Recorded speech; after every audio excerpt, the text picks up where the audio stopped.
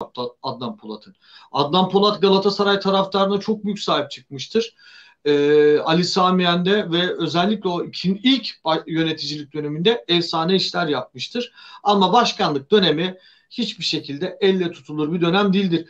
Gökalp e, çeyrek geçe çıkacağız. Transfere de süremiz kalsın istiyorum. Adnan tamam. Polat'la ilgili diyeceğim bir şey var mı? A, bir de, da ağzına Riv, Estağfurullah. Bir de Riva projesinin imara açılmasında Adnan Polat'ın hakkını yemeyelim. Çok büyük katkıları vardır. Peki arkadaşlar transfer bölümüne geldik. Şimdi e, Balbuena ile başlayalım. Fabian Balbuena kendisi West Ham'da forma giyiyor. Bugün Galatasaray'a yazıldı, çizildi. Galatasaray West Ham United'la sözleşmesi bu sezon sona erecek olan 29 yaşındaki Paraguaylı stoper e, Fabian Balbuena ile ilgileniyor. Fatih Terim bu transfere onay verdi iddia ediliyor. Burada Yeni Asır'ın haberi bu. Kaynağımızı da belirtelim. Yeni Asır, e, Yeni Asır gazetesi paylaşmış. Birçok gazetede de yer alıyor. E, Balbuena'nın kariyerinde Paraguay'da Rubio, Nacional, Libertad, Corinthians gibi e, ekiplerin olduğu da söyleyelim, ekleyelim. Transfer market profilini görüyorsunuz. 2021'de boşa çıkıyor. Yani yine Gökalp bonservissiz bir futbolcuyla karşı karşıyayız. E, ve Fatih Terim'in de Luyendama'dan memnun olmadığını, Donk'la da yolları ayıracağını biliyoruz. Yani Donk'la sözleşme yenilenmeyecek. Luyendama'da büyük ihtimal gidecek veya kalsa bile Fatih Terim ondan memnun değil. Bu bağlamda bir yabancı stoper arayışı var. Luis Abraham mı olur? Balbuena mı olur? Yoksa e, Wout Faes ismi vardı bir ara. Başka bir isim mi olur? Bekleyip göreceğiz. Balbuena bu sezon 14 maçta oynamış. Sadece bir gol atmış. Prime sezonunda değil. Yani çok iyi durumda değil. Sağ stoper ve sol stoper olarak oynuyor arkadaşlar. Ee, 1.88 boyu var. Valla yani bir stoperin e, taşıması gereken bütün özellikleri taşıyor. Özellikle ben hava toplarındaki müdahalelerini çok beğendim. Premier Lig görmüş bir stoper. Galatasaray'da faydalı olabilecek bonservissiz bir transfer olur. Ne diyorsun? Ee, Galatasaray'ın bonservis harcama potansiyeli olan isimler hücum oyuncuları. O yüzden 6 ve e, 6 numara ve stoper pozisyonunda sözleşmesi bitecek oyuncuların gündeme gelmesi çok normal. O yüzden 25 yaş ve üzeri e, sözleşmesi bitecek oyuncuların stoper mevkisinde birçoğu Galatasaray'ın potansiyel transferlerinde bize konuşturur diyebiliriz. Şimdi Balbuena ile ilgili yeni asır bir e, haber paylaşmış ama ben yabancı basını araştırdım. Bir haber göremedim. E, araştırmaya da devam ederim. Böyle bir, bir yabancı basından da İngiliz medyasından da bilgi alırsak paylaşırız. E, biraz izledim ben şimdi Balbuena e, West Ham'da Issa Diop, Ogbonna ve e, Dawson'ın arkasında yani 3 stoperin arkasında kalan bir isim. O yüzden çok fazla e, ilk 11 oynama şansı bulamadı. E, ki West Ham'da çok da iyi değil sezon boyunca yani şöyle söyleyeyim. Geçmiş sezonlarına bakarsak mesela e, West Ham'ın bir saniye abi. Evet ekranda da oyuncuyu görüyorsunuz. Geçmiş zaten. sezonlara göre West Ham'ın Şampiyonlar Ligi şansı var. Şampiyonlar Ligi şansı var. O yüzden Issa Diop, Dawson ve Ogbonna isminin arkasında 14-15 maçta forma giydi. Ee, Şampiyonlar Ligi'ne giderlerse büyük ihtimal kadrolarını güçlendirmek isteyeceklerdir. Yani Balbuena ile bir sözleşme yenileme gibi durum olmaz. Ee, Paraguaylı Paraguaylı olmasına gibi bir avantaj sağlıyor. İspanyolca konuştuğu için e, Güney Amerikalı olduğu için Muslera ve Marka ile uyum içinde oynayabilir mi? Evet. Bu bir avantaj. E, Galatasaray'ın sol stoperi Marka ile oyun kurma konusunda destek alıyor. Ama aynı desteği Galatasaray sağ stoperinden alamıyor. Top oraya geldiğinde baskı yediğinde problem yaşıyor. E, Balbuena bu konuda biraz daha Donk ve Luyendama'dan iyi işler çıkarır açıkçası. Fizik olarak da iyi. Ve e, tüm stoperlerin attığı gollere çok bakılmaz ama e, büyük ölçüde yan toplardan hava kafa toplarıyla gol bulmuş bir isim. E, açıkçası profil olarak baktığımızda Premier Lig görmüş bu seviyede bir oyuncu katkı sağlar. E, ben stoperlerin de e, çok fazla wonderkid alınıp gelişim sürecini bekleyip bir şeyler vermesi konusunda risk olduğunu düşünüyorum. Stoper mevkisinin bu strateji dışında tutulup tecrübeli isimlerle oynanması gerektiğini düşünüyorum. O yüzden e, ben olumluyum aslında Balbuena konusunda. Umarım böyle bir gelişme vardır. Evet yani e, bu transfer dedikodusu doğruysa ki bizim e, kaynaklarımızdan gelen bir bilgi değil, yeni asırdan gelen bir bilgi. E, ana akım medyada da paylaşılmış durumda. Doğruysa ben de Galatasaray'da e, özellikle Süper Lig standartlarında iyi katkı vereceğini düşünüyorum. Foto maçın iddiası Gustavo'yu ister misiniz? Şimdi Gökalp e, sezon başında Gustavo'dan Fenerbahçe bir indirim istedi. Ve Gustavo Fenerbahçe'de indirimi kabul etmeyen futbolculardan bir tanesidir. Bir ara Fenerbahçe ciddi bir şekilde üzerine çizdi. Yani ayrıl dediler Gustavo'ya. Gustavo da şöyle dedi. Benim paramı verin ben ayrılayım dedi. Parasını da Fenerbahçe e, vermek istemedi. Yani şöyle oynamadan para kazanmasını istemedi ve Gustavo'yu bu şekilde kabul ettiler. Bugün Gustavo yedek ve e, orada Emre Belezoğlu Sosa'yı tercih ediyor. Yine Gustavo'nun Galatasaray'a önerildiği yönünde haberler var. Sezon sonundaki kaynak yani benim de bana gelen bilgiler içerisinde de vardı açıkçası. Gustavo'nun Galatasaray'a önerildiği bilgisi. Şimdi şu an var mı bilemiyorum. Sezon sonunda zaten şu an gelemez. Sezon sonunda sen Gustavo'yu Galatasaray'da görmek ister misin? Galatasaray orta sahası için ideal bir isim mi? Çünkü belli Şimdi, oldu ki Emre Belözoğlu onu çok düşünmüyor takımda. Evet Emre Belözoğlu'nun neden düşünmediği konusu çok önemli. Gustavo'nun evet çok iyi bir kesici bir defa. Pas arasını çok iyi yapıyor. Ee, rakip şey e, savunma beklerinin, savunma stoperlerinin kademelerine çok iyi giriyor. Ee, ve faali yapıp doğru yerde faal yapıp rakip atakları kesen yani çok tecrübeli bir isim. Şutu var. Ee, isabetli pas oranı yüksek. Yani kaliteli bir isimden bahsediyoruz.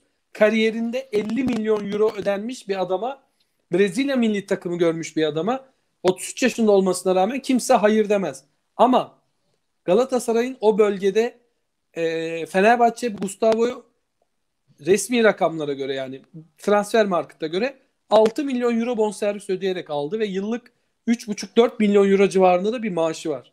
Şimdi çıkan haberlerde ne Gustavo... Fenerbahçe? Şimdi de Samatta'yı göndermek istiyorlar. Samatta'yı da bonservisini sezon başında verip alacaklar. Yani mecburlar almaya. 5 milyon veya 6 milyon euro para verecek Fenerbahçe. Parayı verdiği gibi de satmaya çalışacak. Çok ilginç ya valla. Şaka gibi. Ben şimdi şöyle biliyorum. Mesut Özil'le alakalı bir e, maaş boşluğu e, transfer limiti açmak için Gustavo e, işte Ozan ve vesaire bir iki futbolcuda da sözde tırnak içinde indirime gitti Fenerbahçe e, resmi olarak. Ben buna pek inanmıyorum. Yani Gustavo'nun gelip size e, 1 milyon euro, 1,5 milyon euro indirim yapacağı bana pek mantıklı gelmiyor. O, o, o para bir şekilde sağlanmıştır, ödenmiştir kendisine. E, Galatasaray'ın orada bonservis ödemeden oyuncu araştırdığını biliyorum. Yani Onyekuru, Halil, olası bir Jetson ve Mustafa Muhammed. Dört futbolcunun yaklaşık bonservis maliyetleri 15 ila 20 milyon euro arası. Yani bu parayı bile sizin bulmanız kritikken, sıkındıyken bir de 6 numarada Gustavo'nun Fenerbahçe'nin size bonservissiz vermesini bekleyemezsiniz. Ha, şu denebilir maaşından kurtulmak için gitmesine izin verilecek. Ama Galatasaray'a gitmesine izin vermez Fenerbahçe. Sırf bunun için bile kadroda tutar. Ee, Emre Belezoğlu çok memnun değildir belki. Kadroda düşünmüyorum der. Yine de Galatasaray'a bedava Fenerbahçe Luis Gustavo'yu vermez. 6 milyon euro ödedi. Bu bana gerçekçi bir yaklaşım gelmiyor. O, Valla Fenerbahçe ben, ben Emre Belezoğlu'nun takım planları içerisinde Gustavo'nun olacağını zannetmiyorum. Gustavo ile uzlaşıp e, sözleşme fesine gidebilirler diye düşünüyorum. E, sağ tarafta da Alioski haberi var.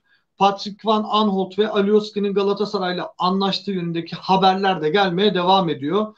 E, temasın olduğunu biliyoruz ama anlaşma gerçekleşti mi, ıslak imzalar atıldı mı orası soru işareti. Şimdi Halil Dervişoğlu'nu konuşalım Gökhan. Halil Seferberliği Galatasaray Genç Yıldız'a Fenerbahçe'nin talip olduğu haberler üzerine harekete geçti. Ee, yönetim hemen Brentford ile temasa geçerek 2,5 milyon euro teklif etti. Tabi Brentford kulübünün de istediği paranın e, 5 milyon euro olduğu konuşuluyor.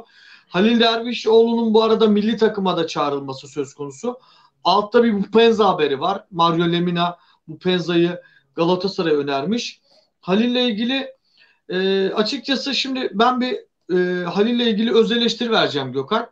Halil Dervişoğlu transferi gerçekleştiğinde e, chat bölümünden yine veya mesajların altına e, sevgili arkadaşlarımız, izleyenlerimiz abi bu çocukla ilgili satın alma opsiyonu var mı? Satılma, satın alma opsiyonu yoksa bu transfer riskli değil mi? Neden böyle bir şey yapıyoruz şeklinde eleştiriler getirdi. Ya ben de Halil bir şekilde alınır dedim. Kendi adıma bunu çok önemsemedim Gökalp. Bir şekilde alınır dedim. Babası da zaten e, Salim Manav'a galiba bir röportaj vermişti. Orada e, Salim Manav'a yeter ki Galatasaray istesin e, Galatasaray Halil'i alır demişti. Ama şimdi günün sonunda öyle olmadığını görüyoruz. Yani evet. Fenerbahçe de devreye giriyor ki Fenerbahçe'nin transfer stratejisi bu. Galatasaray'ın beğendiği istediği bir futbolcuya gidip talip olalım biz alalım. Şimdi Fenerbahçe de devreye giriyor. Burada bak gene yazılmış babasının tercihi Galatasaray diye. Ee, ben o zaman bunu önemsemedim Gökalp. Şu an kendime çok kızıyorum ve ben bir daha Halil koşullarında Galatasaray'ın bir transfer yapmasını istemiyorum. Genç bir oyuncuyu alıp parlatacaksa mutlaka makul bir satın alma opsiyonu olması gerekiyor. Ya Galatasaray gelecek sezon inşallah olmaz da olur da Halil'i Fenerbahçe'ye kaptırırsa e, ben açıkçası bunu e, biraz argo olacak ama çok büyük bir enayilik olarak görürüm Galatasaray açısından. Evet, yani evet futbolcunun satın alma opsiyonunun olmaması, futbolcunun satın alma opsiyonunun olmaması e, her iki genç oyuncuysa e, sizin bir e, herhangi bir takıma e, şey yapmanız anlamına geliyor. Yani oyuncu yetiştirecek bir takımmış izlenim veriyor. Galatasaray yarışmacı takım. Şampiyonluk kovalayan bir takım. O yüzden e, performansı soru işareti oyuncuyu kadronuza katıp vereceği performansa göre bir bonservisle e, oyuncuyu almanız ya da alamamanız sizi kadro olarak istikrarsızlığa sürükler. Zaten finansal fair play anlaşmasının en büyük zararı da bu oldu. E, uzun zamandır Galatasaray kadrosunda çok revizyon var. Yani sürekli giden gelen kiralık oyuncular var. E, Halil Dervişoğlu'nun bon servisini Galatasaray almalı. Almak zorunda. Galatasaray'ın e, Avrupa piyasasından henüz e, beklenen değeri görmemiş bir futbolcu alıp parlatıp belki bir Şampiyonlar Ligi vitrine çıkartıp e, ve kat, yeşil sahada katkı alıp iyi paralar kazanması iyi bir stratejidir. O yüzden Halil Dervişoğlu tarzı oyuncuların opsiyonu varsa senin dediğin gibi alınması çok e, mantıklı, çok iyi bir e, hamle.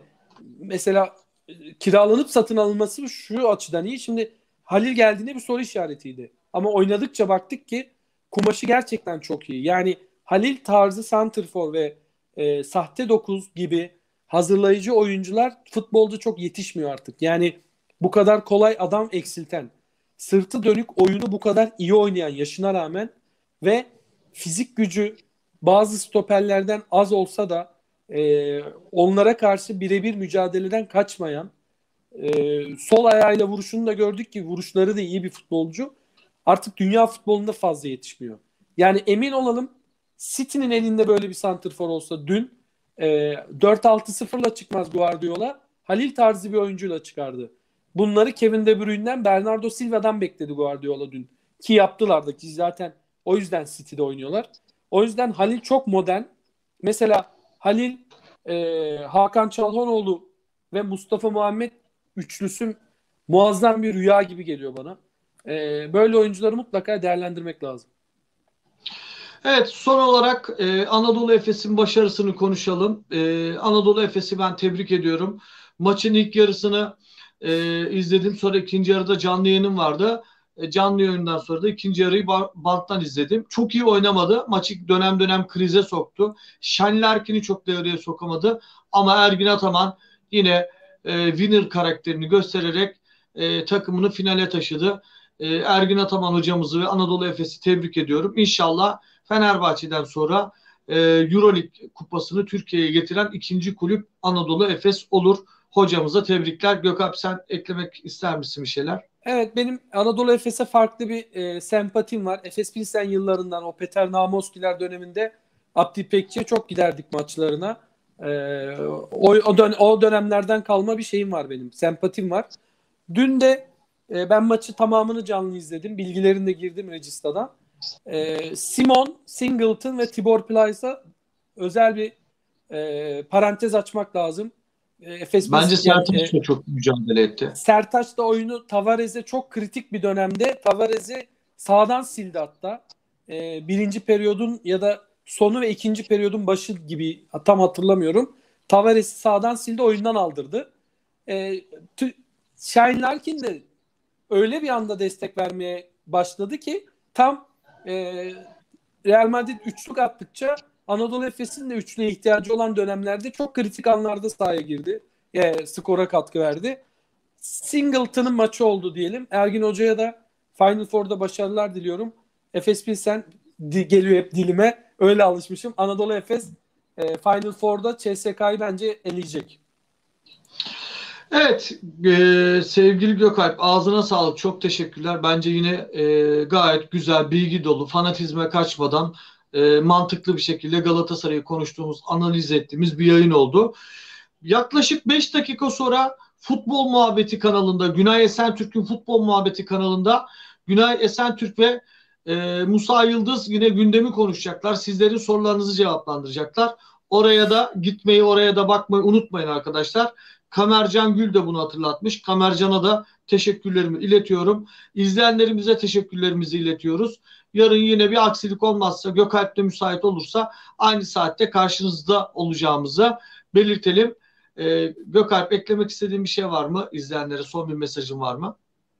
Yok. E, bizi izledikleri için teşekkür ederiz. Cuma günkü yayın tam Şampiyonlar Ligi olacak. Kaçırmasınlar. Evet Cuma günü çoklu bir yayın yapacağız. O yayına da hepinizi bekliyoruz sevgili izleyenler. Şimdilik bizden bu kadar müsaadenizi istiyoruz. Hoşçakalın.